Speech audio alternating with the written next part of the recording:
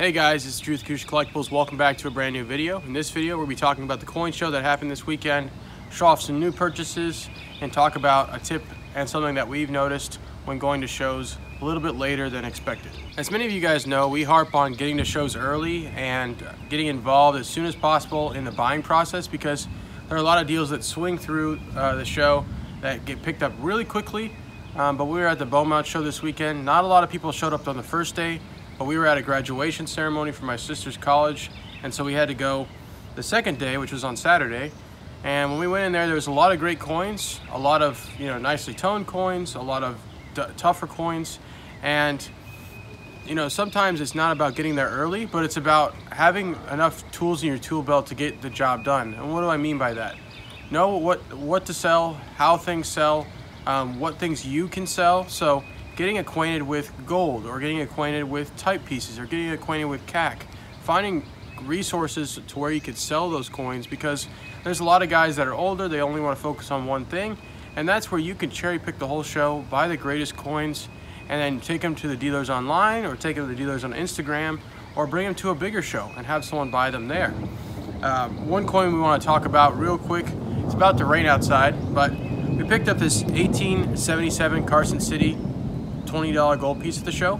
Something we want to submit to CAC. I'm going to show it to you guys again later in this video, but sometimes just knowing that there's people out there that want to buy this and who you can talk to in order to pick it up and then make some money is really important. And so we hope you guys enjoy these new purchases. All right, guys, so here's a slew of everything that we got over the weekend. A few just really nice choice pieces. Sometimes I just don't want to buy so many coins that are you know unattractive or overpriced, but rather buy the nice coins for the right price so that you guys want to pick them up. Got a few type coins, got a few commemoratives, got a few half dollars as well. Can't wait to show you them. The first coin I want to show you is this 1853 three cent piece. It's great AU50. I picked this up because a lot of three cent silvers are raw and they're not in holders. This one I felt was affordable and it had a pretty nice true view to it. Second coin I want to show you is this really interesting 1947S Booker T. Washington. It's got red and it's got goldish color on the obverse. And then when you flip it over the reverse, it's got some greens and it also still has some red and golds to it. Definitely a coin you don't see with color. So I don't know what we're going to do with this coin yet. It's not going to be for sale, but definitely wanted to show you guys and take you along with what we've been purchasing. This is a 1937 Roanoke. It's graded Mint State 67, CAC approved. Um, it's just a really high grade, nice coin. all the bells and whistles to it. I apologize for the rain in the background again. It's been raining all week, but still been trying to film some videos for you guys.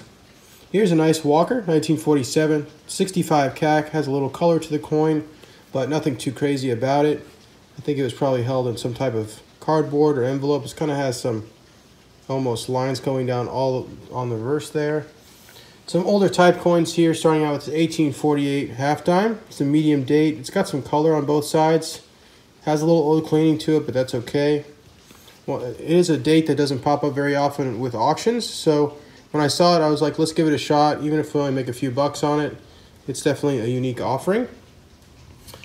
Uh, the 61 dates are pretty tough to find, so I have a 61 half here, and then a 61 half dime.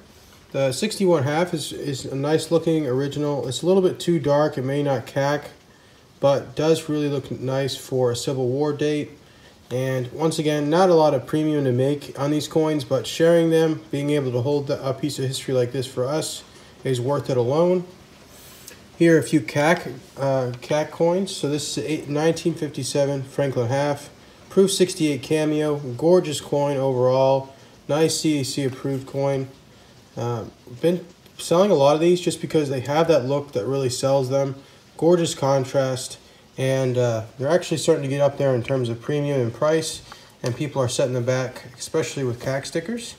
Here's an 1861 seated half dime. Little color to it, nice true views, pretty weak on the high points. It's kind of why I thought it was a 62, and there's not a lot of luster to the coin. Most of the time you need some more luster, and this one didn't really hold it for me, but once again, another coin from this year that just doesn't come up in auctions very often. So thought it was a nice coin for affordable price. Got some big boys real quick. This 1836 Block 8 two and a half coronet head. Actually, it's a classic head. I completely forgot. I apologize. It is a Block 8, Mint-State 61, CAC approved. Been trying to step up our game with some nice gold, nice CAC approved stuff, stuff that you guys would love forever. And uh, this coin definitely is great. It's going to a new home already. sold on the website over the weekend, so make sure to keep checking out our website at AcoushaCollectibles.com. We're coming out with coins every single week. This is an 1852 gold dollar, AU58 CAC. Another gorgeous coin. Love the gold color to it. It wasn't dipped out, anything crazy like that. Just has a literal, a little general wear to it. A few other coins here. This is a 1913S, a little bit of a better date, Buffalo nickel. Affordable, better date, so this one's under 100 bucks. It's not something you have to break the bank for. And uh, overall, it's pretty original, just has some decent circulation on most of the coin. Has a little luster left in it as well. Here are two more big coins before we wrap up this video. This is an 1878 proof 15. This is a low ball proof, something you don't see every day. The guy said he just got it back from NGC at the show and that he didn't think it would come back proof, which I think this is a proof only issue for the Philadelphia Mint. So there's no way this couldn't come back proof. Definitely super cool because none are circulated like this. And so very fortunate to be able to pick this up and offer it to you guys. Last coin I want to show you is a coin we're saying the CAC. This is an 1877 CC $20 gold piece. Nice original looking coin.